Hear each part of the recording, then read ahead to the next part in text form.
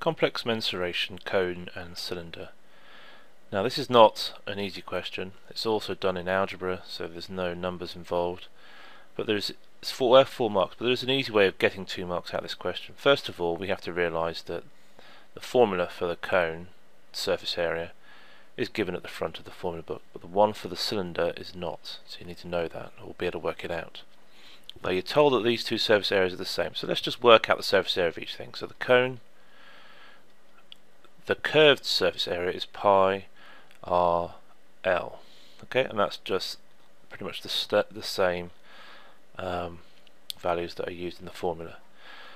Uh, but we need to work out also the area of the base because that's the total surface area is part that plus pi r squared and you would get one mark for working that out or just write that down now the cylinder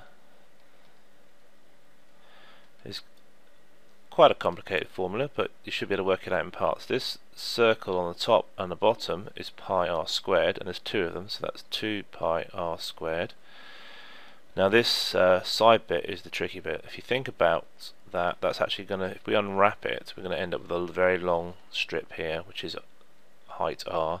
And this length here is the circumference of the circle.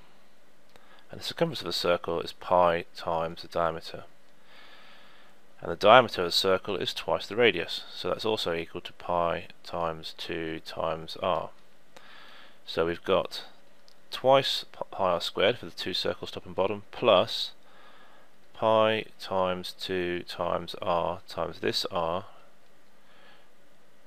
and that gives us um, I think any equivalent value there would give you uh, a method mark but this does simplify down if I sort this out r times r is r squared times by 2 times by pi that's exactly the same as this in fact so that's 2 pi r squared plus 2 pi r squared which is 4 pi r squared now, we're going to say they're the same, so we need to say 4 pi r squared equals pi rl plus pi r squared, and that gets you another method mark. So, not really that much. Um, you get 3 out of 4 marks for not really um, doing anything complicated apart from stating what's going on. Now this is, from here, a little bit tricky, but if you think about it, you should be able to think it through. So We've got 4 pi r squares here equals something plus pi r squared. So we take the pi r squared away, we end up with 3 pi r squared equals pi r l.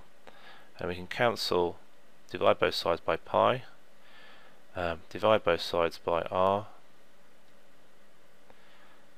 and we're left with 3r equals l. So l equals 3r for 4 marks.